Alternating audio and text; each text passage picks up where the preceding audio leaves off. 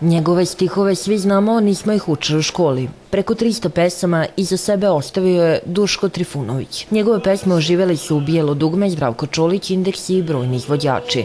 Kant autor Branko Pražić od smrti svog prijatelja i saradnika, odnosno od 2006. godine, pravi koncerte posvećene Trifunovićevim delima. U maju će biti 13 godina. On je, e, Duško je otišao od nas 28. januara 2006. A ja sam, evo, nepunih četiri meseca posle toga, negde oko 20. maja 2006. ja sam u Bačkoj Topoli, u mom rodnom mestu, e, tu prvu priču ispričao. Ona je bila na mišiće, ja sam se napeo iz petnih žile, a nikad do tada nisam ni pričao toliko, a pogotovo nisam recitovao. Ja sam čovek matematičke orijentacije, e, matematičar, fizičar, dakle prirodne nauke, uopšte me to nije zanimalo. Ali Duško me je zarazio poezijom i onda više nisam imao kuda.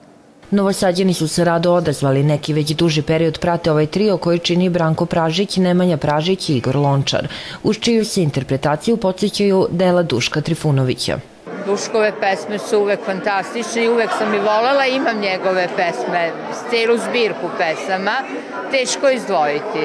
Pa jedno lepo lirsko veče. Ova najnovija što mi se da... Ima nešto u tom što me nećeš. Mnoštvo njegovih pesama volim, rado ih čitam i mimo muzike tako da uživat ćemo svi.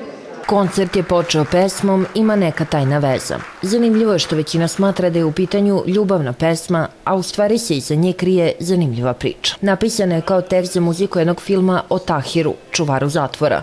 U jednoj sceni Tahira pitaju kako je, a on zlovoljno priča kako zatvorenici odrobijaju 5, 10 ili 15 godina i odlaze, a on je eto osuđen da zbog posla provede nekoliko decenija u zatvoru.